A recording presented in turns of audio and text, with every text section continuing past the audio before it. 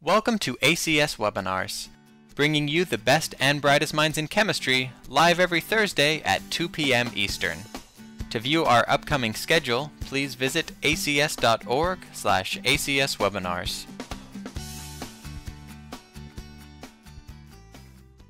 Hello everyone, and welcome to the Chemistry of Scent and Fragrance, which is being presented by the ACS Younger Chemist Committee, ACS Careers, and ACS Webinars.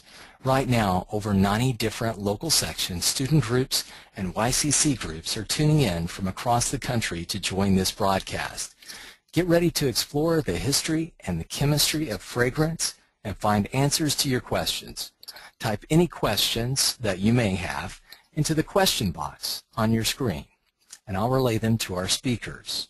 We also want to thank ACS President-elect Dr. Diane Grobe-Schmidt and her colleagues at Procter & Gamble for volunteering to present today's program. Additionally, P&G has donated the blotters and fragrances that were included in your box. Now we're going to uh, hear from Dr. Schmidt, who will introduce our speakers and our program. Diane? Good evening, everyone. My name is Diane Schmidt, and I'm delighted that you can join us today for this webinar on the chemistry of scent and fragrance. Why do you get a warm and fuzzy feeling and remember being in your mother's kitchen when you smell that apple pie, or perhaps it's chocolate chip cookies?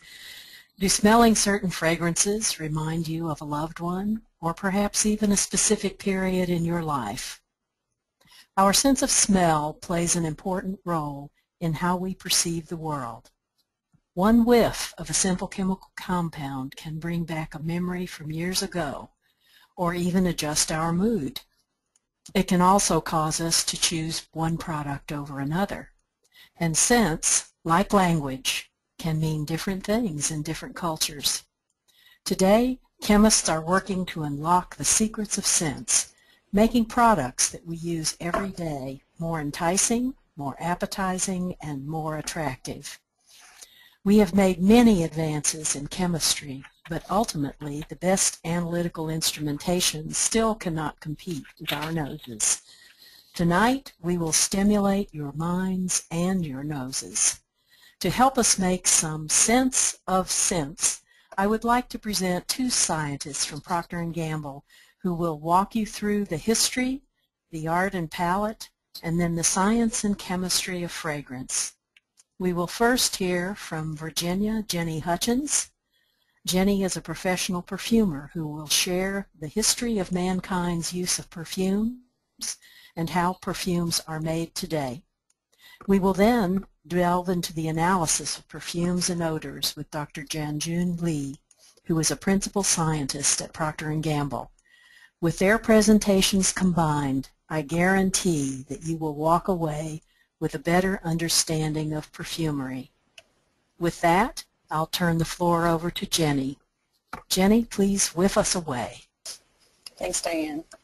Well, I'll be talking to you all tonight about Perfume 101, an introduction to target perfume. And I'd like to just say that while this talk is more focused on the art of perfume, there is a lot of science and chemistry behind this work as well. And you'll get to hear a little bit more about that from Junjun later on. We will cover a very brief history of perfumes, We'll get you grounded on the perfumer's palette. What do we use exactly to make perfumes? And then finally we'll talk about how do we create perfumes for certain products and how do we make them work in those products. Back in ancient times, perfume was used for religious purposes. Back as far as 1700 BC, the Bible makes specific references to aromatic materials like spices, balm, and myrrh. During the Middle Ages, Europe saw the first introduction of perfumes during the time of the Crusades. In the 16th century, the practice of perfuming gloves was very popular, and perfumes were also used to cover up body odors and bad smells in general due to the consumer habits and practices of that day. France quickly became a center for perfume manufacture. Towards the end of the 17th century, the first eau de cologne was created.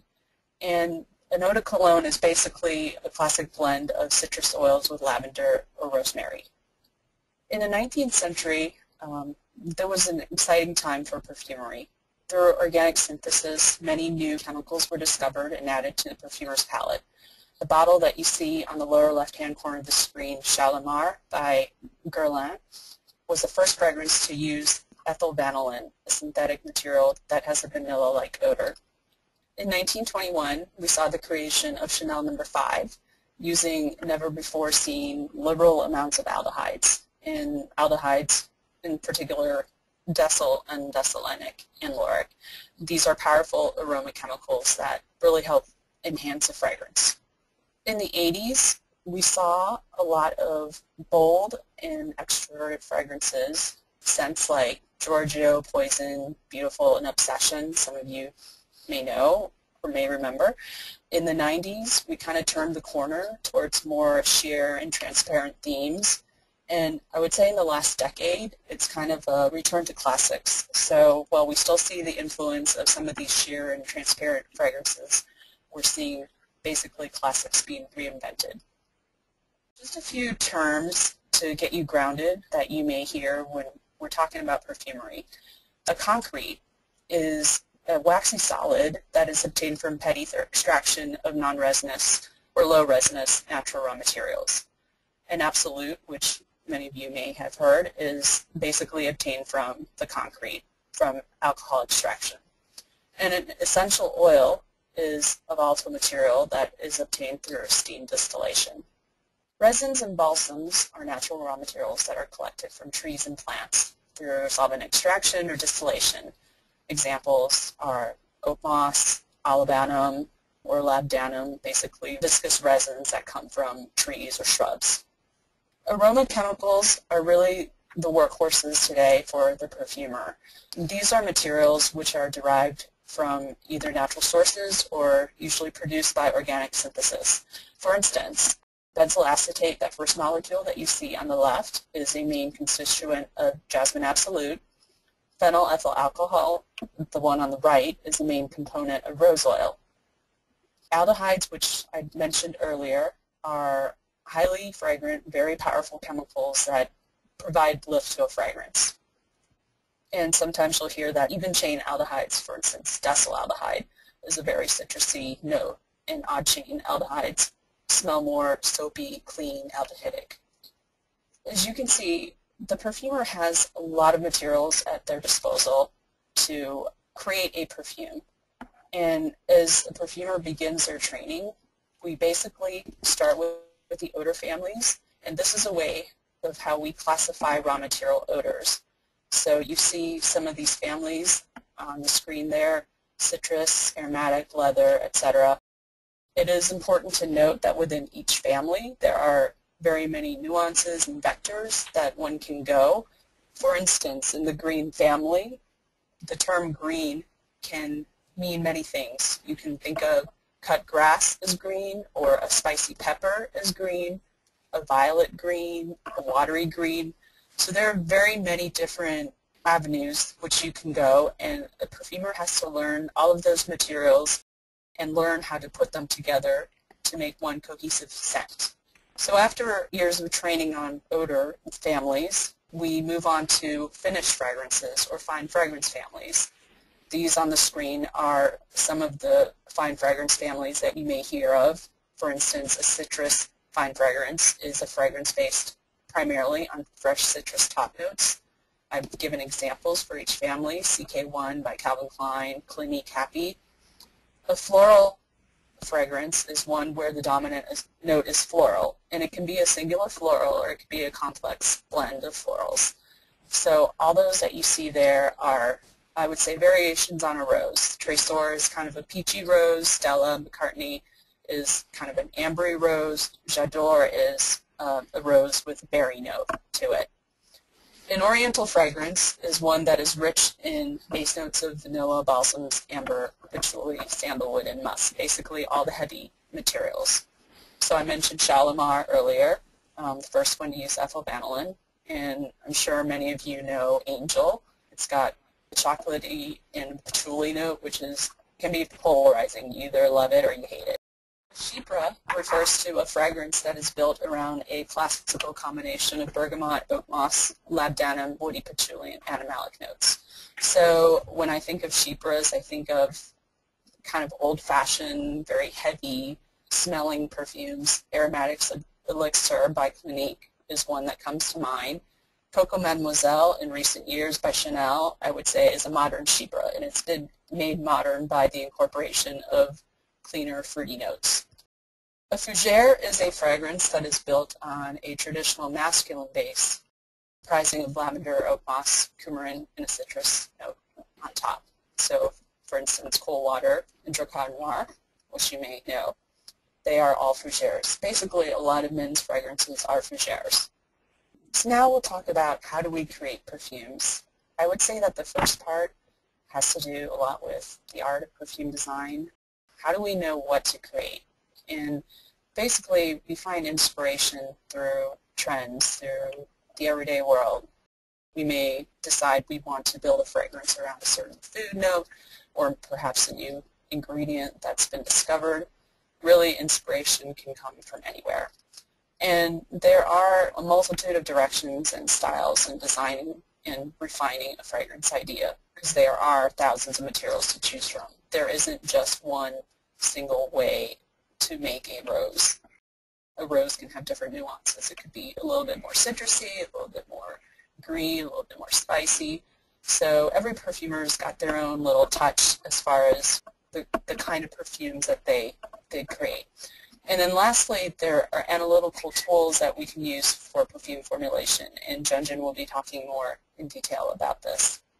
The second part of perfume design is technical design. How do you put it together? And basically, every material has a certain odor and, and a note that determines how it will perform in the finished perfume. And it's characterized by its volatility, either as a top, middle, or base note. A good perfume should consist of a balanced blend of top, middle, and base notes, arranged in a way that creates a nice balanced accord. You may have seen this before. Um, this is an example of a fragrance triangle, and it basically describes the fragrance in terms of the volatility of the materials in the formulation. So on top you have your fresh green fruity top notes, in the middle you have your floral mid notes, and then the sandalwood, amber, musk, vanilla are considered base notes. These are the things that are going to last on your skin and on your hair. So, for example, this is a very typical perfume triangle for a, a shampoo perfume. These triangles will look different depending on the product application that you're designing the perfume for. So along with the technical design, this means optimizing the fragrance and product for stability, odor, and color, making sure that it displays right out of the base and it doesn't turn the product yellow or whatever color that you don't want. Delivering the right in-use experience and scent profile. For instance, air care devices the scents have to have enough power to fill an entire room or whatever space that you're putting the device in. There's also additional considerations such as using perfume delivery technologies to enhance the consumer experience.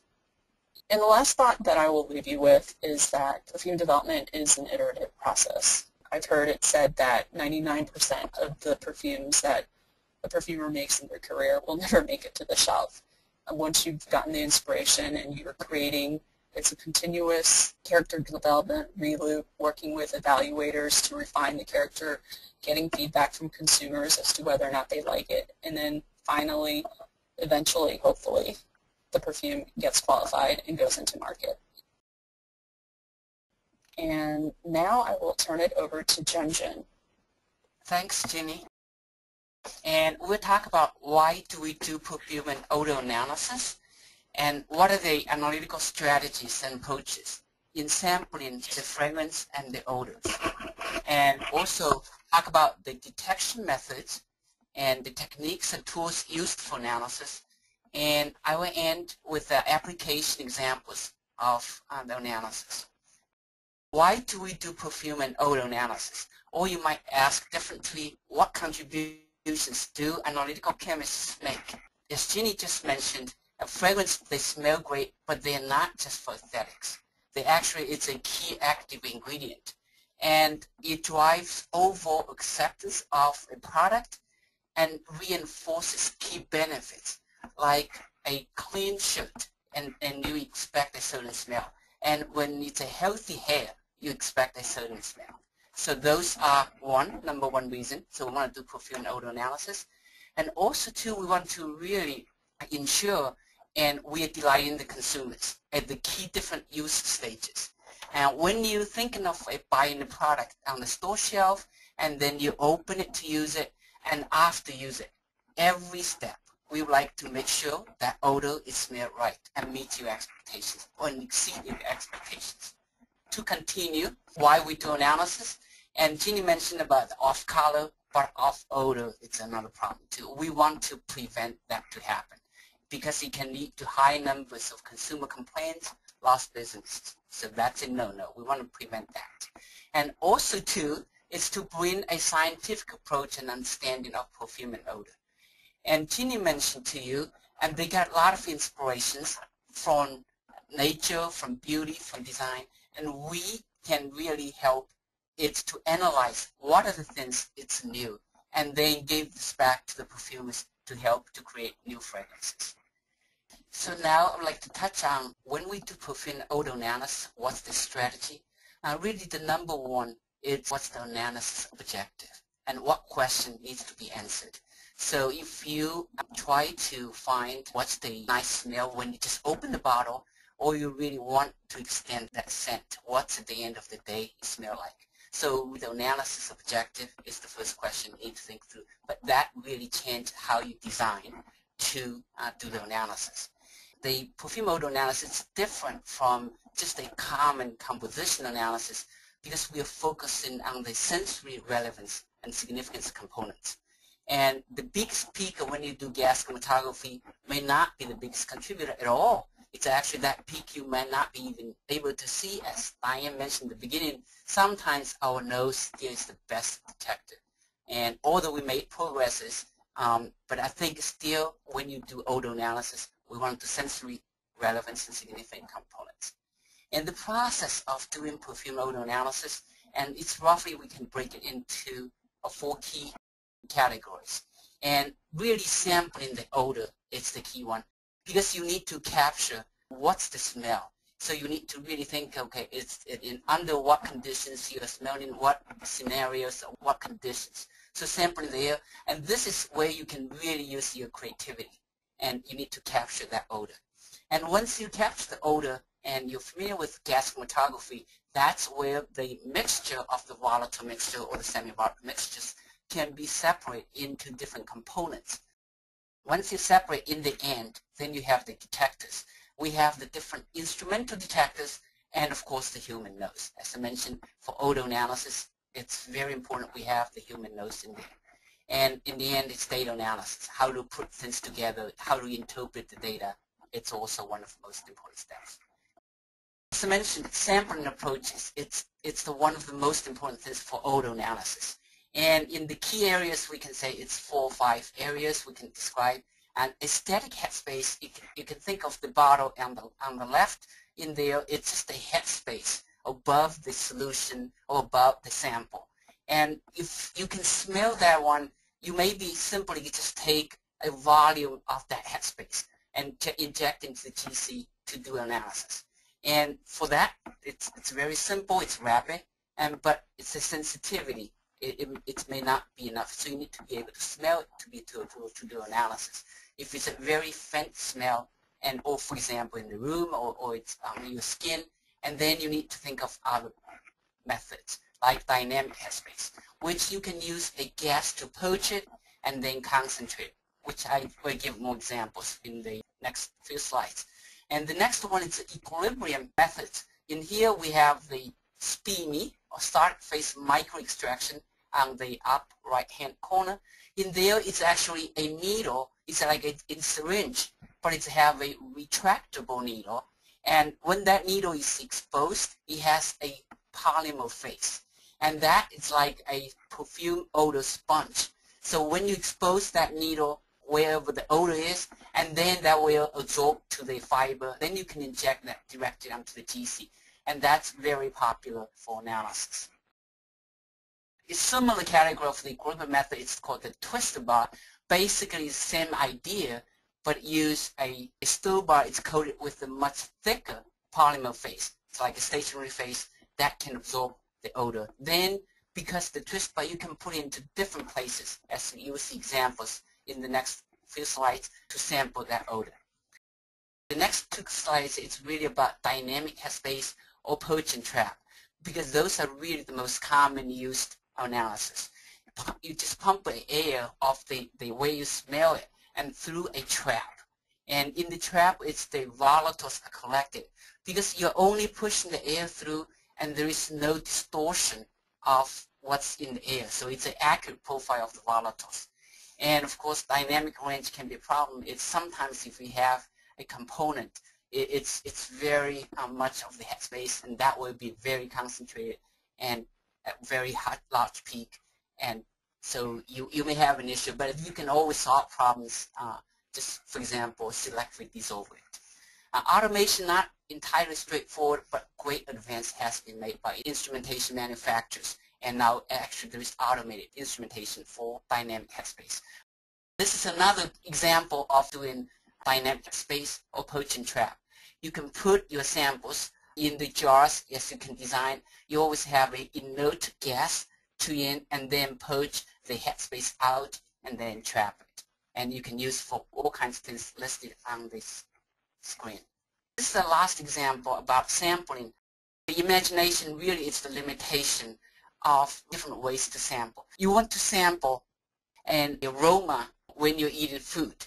And this is a device, it's been published and it's been used in, in the company to sample the flavor it's released. So you have all kinds of factors in here when you hydrate, when you chew in it, your breathing and temperature control, and everything else, you can generate that aroma and then trap and then for analysis. This is another a few pictures of you do a real sampling in outside the door or at consumer homes or in situ. And as you can see, this is using the, the different uh, techniques I mentioned to you and to do in situ sampling. Once we get the samples collected, that's the number one step. Then you need to dissolve it. Once you dissolve it, you maybe need to concentrate, use the cryotrap in there, and then go through the GC, separate into different components. Once you separate, of course, then you can use the, the method spectral detector, the MSD in there for chemical identity, and of course it this nose, and then the FID for concentration. In the upper right corner, you can see a few of the actually the sniff port, and you can have one or two sniff ports and recording your comments while you're sniffing. The psychophysics is really important because some components it's really have a high ODT the ODT is a concentration above that threshold, you can smell it. And they all have this S-curve showing in the graph on to the left. And the different components, the group of components showing some have high ODT and some have low ODT components. For all perfume and odor components, they all have incredibly low ODT and very low concentration. You can smell it, and that's why sometimes we have instrumentation uh, challenges to actually record it. And here's just showing an example after doing the analysis. Uh, we, as we said, we have the different detectors and the red trace. It's the sniff port, we call the aromagram. That's when you smell something, you can push a button to record, okay, what did you smell? You can record, you, you're saying it, or actually have um, panels to say what, what did you smell and then have the mass spectrum showing in the right up corner that show you we can really see what's the identity and then we have the trace it's the FID that's the concentration profile. What is in there its identity its concentration and what's its odor significance? This slide to show you a few quick screening tools and if for sometimes if we know a specific odor needs to be monitored, and these are all the different tools we can use, from the chemical sensor to the photo ionization detector, the Drager tubes, the electronic nose, or the metal oxide sensors, and the zNose, uh, which is a fresh TC. So you can get all kinds of different screening tools to help with the analysis when you know exactly what you are monitoring. That's for known components. Once we get all the analysis done, what's the use? And we can really use for perfume optimization. As we said, it's the different matrix or the different stages you want the perfume to be expressed.